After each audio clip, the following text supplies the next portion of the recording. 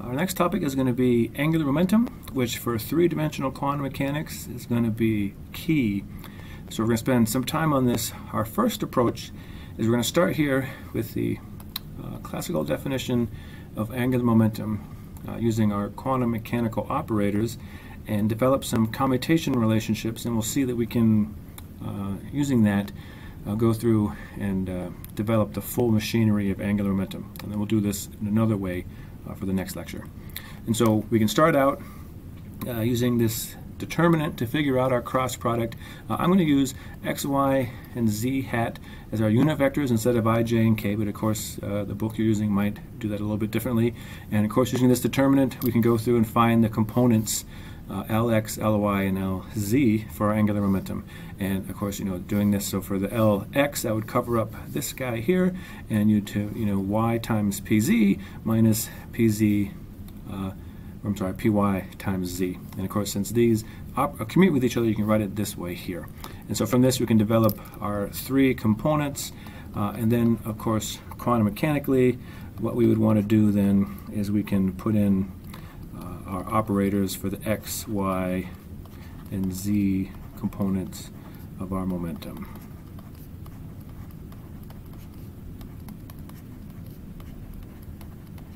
Uh, to make this uh, quantum mechanical in a sense.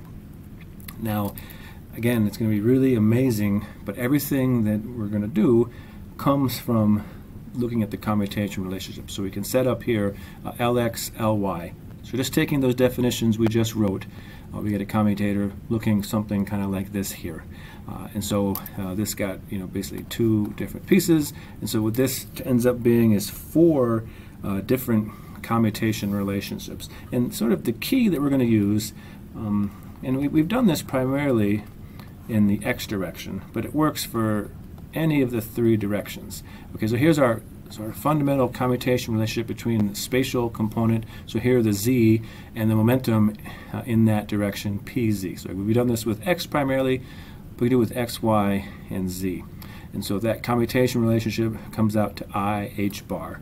And so we look here, and one thing we can see is that basically uh, these two guys here, this one and this one, don't involve anything that does not commute, right? And so if you got the z momentum and the x and the y position, so everything in there commutes, so that commutator is zero, the same thing for here.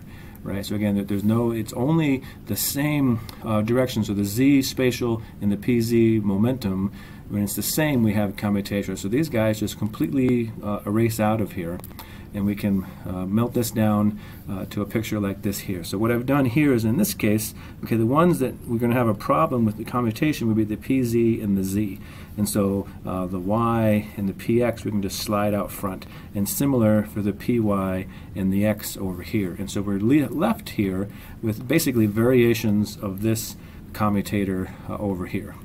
And so then uh, what I can do is uh, write this out a little bit. So here, okay, we've got the PZ and the Z uh, opposite of here, and so this is going to give us, so it'll be Y PX negative IH bar, and then plus PYX, and then this would just be uh, IH bar.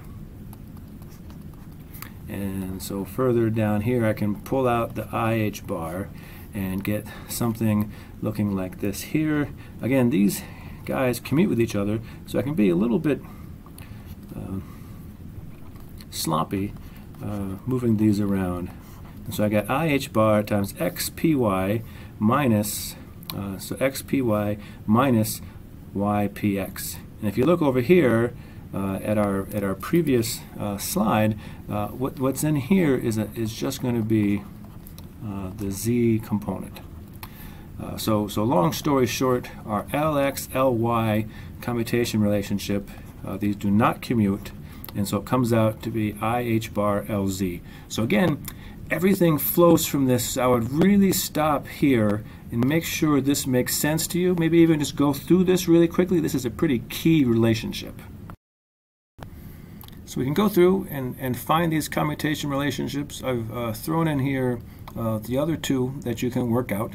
Um, so, so again, do that if you want. Uh, the key point is again, so we're going to start with these commutation relationships and from this develop the full machinery of angular momentum. But we also just want to stop and think about what this means, right? Whenever we have a commutation relationship like this, this means that uh, the two operators, so here in this case, Lx and Ly are incompatible observables, which means I cannot have a quantum state with a definite value of Lx or Ly. And of course, the same goes the other two cases here. So it, we're going to find that it's advantageous for us to find operators that are compatible so that we can use that to help develop our states. And so, so this is really interesting, but we want to go back to the drawing board and see if we can find something that actually does commute. Uh, and what we're going to find that does commute is we're going to find that any one of these components, so in this case we'll we usually generally pick the LZ, will commute with this operator, which is the angular momentum total vector squared uh, which we can kind of write out as a Pythagorean theorem like this here. So this operator will work like this here. And so it'll be the operator of LZ with LX squared, LY squared, LZ squared. And so our goal is to go through and uh, compute this operator. So first of all, this one is zero because any operator commutes with itself or any version of itself, so squared over here, so that just goes away. Uh, and then now we're going to use, so so I think we've actually seen this in, in, in our book, but it's the kind of thing you might have missed. Uh, but basically, uh, when we have two, uh, the commutator of an operator and an operator squared, this is one way to write it that can sometimes be handy and will be handy to us here. Uh, and so uh, this commutator of LZ LX squared can be broken down to operator LX times commutator LZLX and then commutator LZLX times LX. And so these are equivalent. Uh, if you don't buy that, you can just sort of write it out real quickly and prove it to yourself. Uh, but when we write it out this way, we can then borrow these two commutator relationships that we uh, just developed uh, and to, to, look at this here. So if we spread this out, so this will be Lx, and so this is Lz, Lx. This will be this guy here. So it's I h bar Ly. Uh, here, so it'll be plus, and then this is I h bar Ly times Lx. So these are two terms here, plus uh, Ly. So this Lz, Ly. So this is actually backwards of the one we developed. And so that just means it's a negative. So this is negative IH bar Lx. And then over here, so the same thing, negative IH bar Lx, Ly. And so you'll see that like this piece cancels uh, with this guy over here because the IH bar does commute with everything. It's just a constant, so we move that around. Uh, and this one here cancels out this one. So this, in fact, uh, does equal zero. And so this means that L squared operator and one of the components, again, typically we pick LZ, but we could pick any of the other ones. Uh, it's just sort of, we got to pick one. Uh, commute, which means we're going to be able to find states and here uh, we can sort of write these states out different ways, but we're going to be able to find um, quantum states that are uh, eigenstates of both the LZ and the L squared operators. And so sometimes you'll see people write this out uh, as some state that has an L and an M. So we're going to talk about what the L and M stand for as we go on. And sometimes we'll just talk about it as just some function F. Uh, it just sort of depends on, on who you're talking about.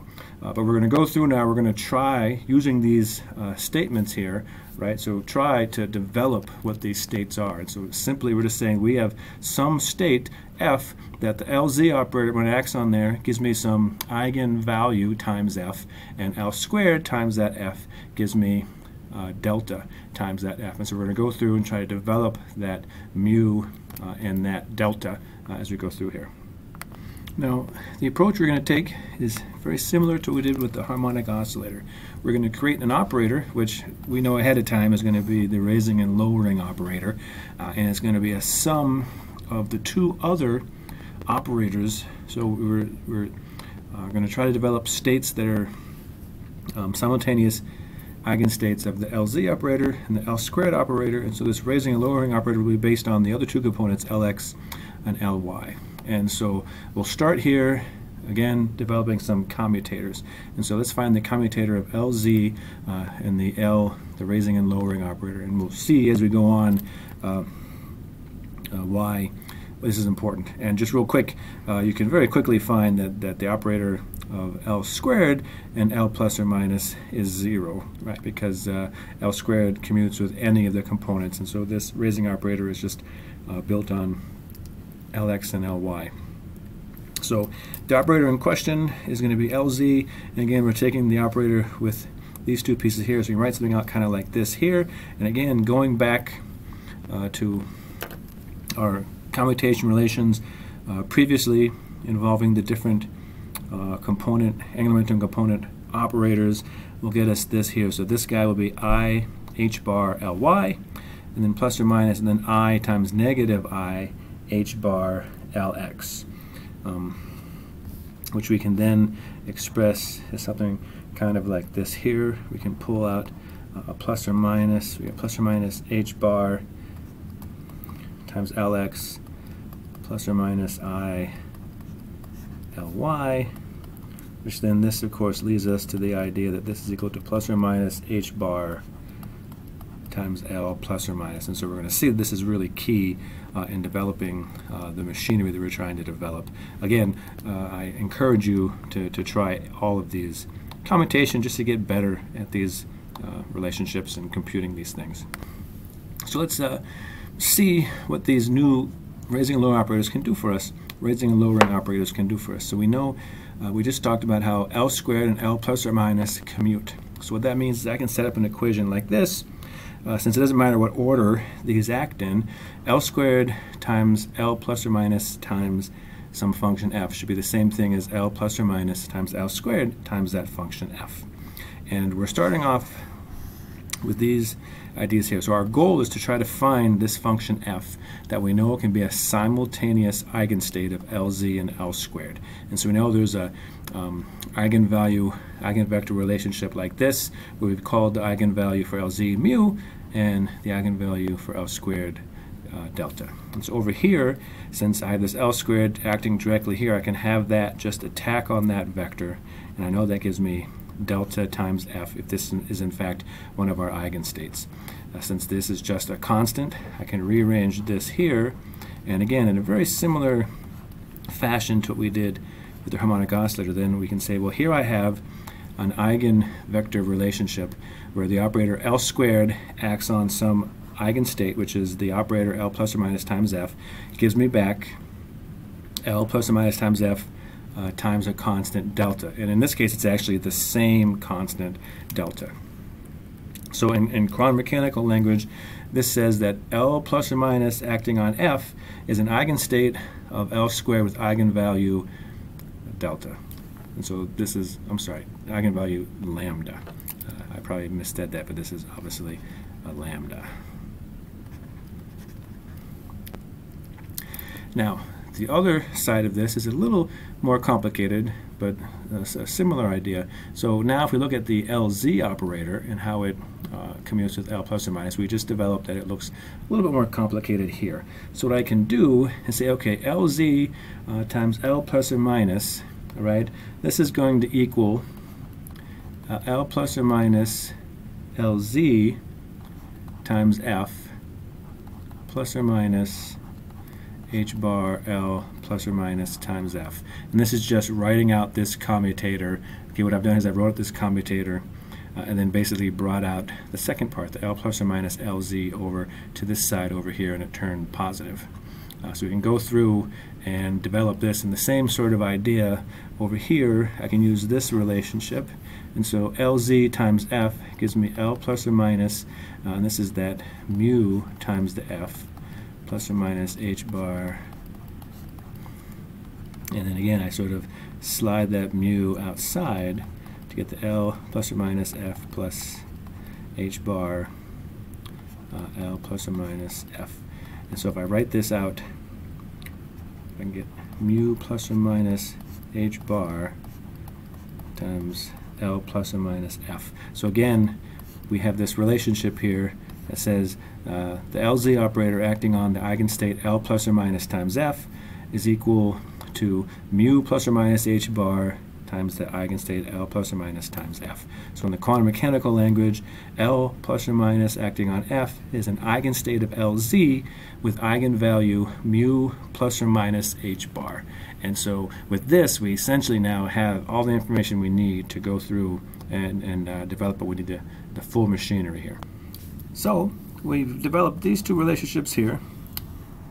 Um, and let's just look at these a little bit. So, so first of all, we're, we're, we're, trying to find the states of angular momentum. And so let's look at this. Well, so the state here uh, of L squared, which is essentially the, the length of our angular momentum vector, if you think if you think about it in sort of a semi-classical way, that doesn't change with this raising or lowering, which hopefully makes sense. So, so basically you're raising and lowering uh, states of a, of a set L squared is what this is implying. Uh, and then over here, the z component does change in multiples of h bar as we raise or lower it. Um, and so we're, we're getting somewhere. And so the, the last thing uh, that we're going to sort of look at here, or, or, the next thing, is so we imagine then that there's some f, we'll call it f top, uh, right, from raising or lowering, sort of like we did with the harmonic oscillator. There's some top rung where I can't raise it any further. Okay, so L plus times Ft uh, is equal to 0. And so that's going to imply for us that uh, Lz times this F top gives us some maximum value, which we're going to call H bar times L. Uh, we'll see how this works out. Um, and then, of course, the thing is L squared times F top just gives us our lambda times F top, just like before. And so we're going to uh, take these relationships and kind of work from here hopefully try to develop what we're looking for. And uh, the last thing we're going to do that sort of is a helpful uh, computation here is we're going to look at this piece L plus or minus times L minus plus. Just using these definitions here, note that the one big difference is that the second one has a L minus plus. And so if I write these out and multiply them through, I get a Lx squared, Ly squared, and then two, which you might want to call cross terms. And we can arrange these like so, such that this is a commutator, right? This thing here is just a commutator Lx, Ly, which we know this whole thing is IH bar times Lz. And so we can write this out as Lx squared plus Ly squared. And then this would be negative plus times I, and of course that's IH bar Lz.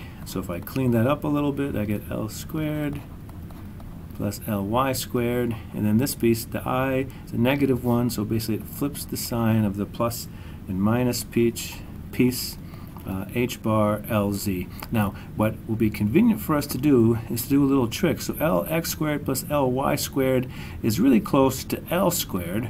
It's just we would need to add in a plus lz squared. And so to do that, we've got to pay the price of subtracting on LZ squared, but that's okay, right? Uh, that's not so bad. Um, and then we, I got in that plus or minus H bar LZ. And so if you remember, sometimes you can get kind of lost, is this is what is equal to this guy over here. And so what this will turn out to be is a very convenient way for us to write L squared. So we can write L squared as L plus or minus L minus plus. So I'm basically going to isolate for L squared. And so it's equal to this thing. And then over here I'll have a plus LZ squared and then a minus plus H bar LZ. And so this will just allow us to calculate L squared much easier. So we're ready to start cooking here. And so let's look at this. Let's say that LZ times our function, which is the top function, is equal to h bar, and we'll call this L, as we said before, times the top function. And so now we can take L squared uh, and look at this same top function. And we're going to find out that if we do this, we can look at this and then figure out what the eigenvalues should be uh, for, for our states. And so let's do this. Now here I'll pick uh, a particular version of this, taking the bottom signs here. So L minus L plus plus LZ squared plus H bar LZ uh, all times F top. And if I do this, so this guy here, when I attack this on the top, uh, L plus, we can't raise this past the top, so that would be 0. So I get 0 from the first piece. Uh, this guy here on F top, well, it's just applying LZ twice. And so it would be h bar L squared. And then this one here, h bar times LZ would be h bar squared times L times this F top. And so if we clean this up a little bit, we get h bar squared L times L plus 1 uh, f of top. And so our eigenvalue for this state, the top state, is h bar squared L times L plus 1. Now, let's do the same thing, but we're going to create now a bottom rung. And it's the same sort of idea. The bottom rung will be the lowest possible rung.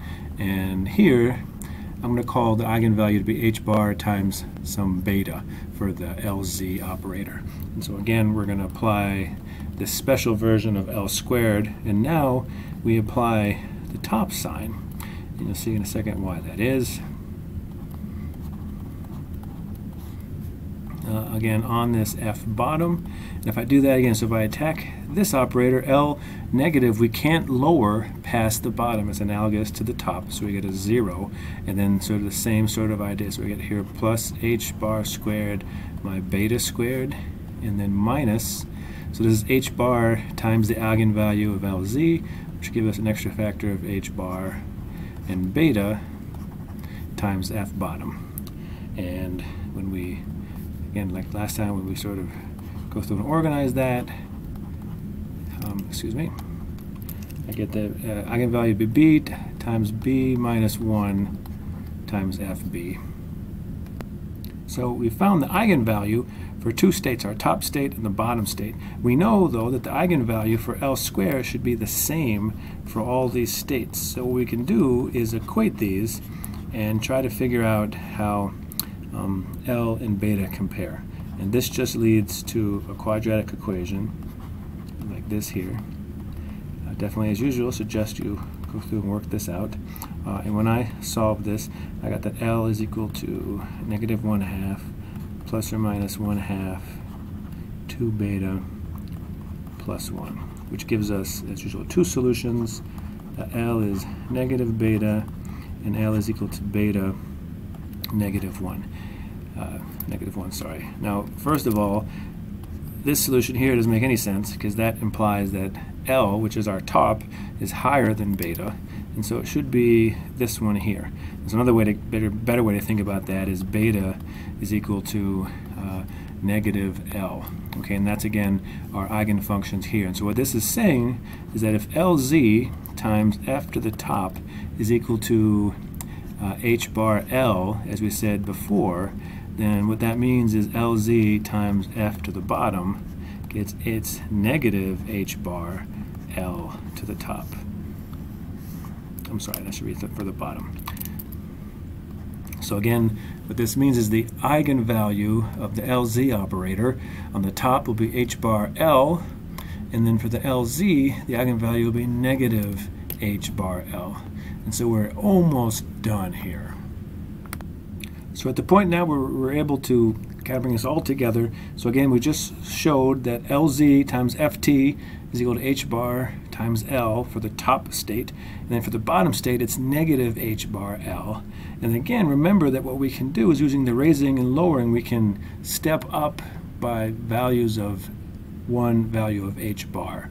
And so let's sort of think about what that means for us. And so here's our eigenvalue equations. So LZ times some general f is going to be h bar times our m value. L squared times F is going to be H bar squared times L, L plus 1 F. We're just going to sort of write it that way. And so what will happen is let's look at, say, the L equals to 1 state first. And so what that gives us is we have a L squared times our F for that particular uh, state will be uh, H bar squared times 2 times F. So our eigenvalue of L squared is H bar squared times 2. And what's going to happen is we're going to have our, um, if we did this for, say, the top state, that would be, for L equals to 1, would be H bar times F top. And LZ times F bottom would give us negative H bar. And so what that means is this M value here, this particular case, uh, starts at negative 1, uh, and then again it, it increases by uh, values of h bar, which would mean it would be negative 1 to 0 to 1.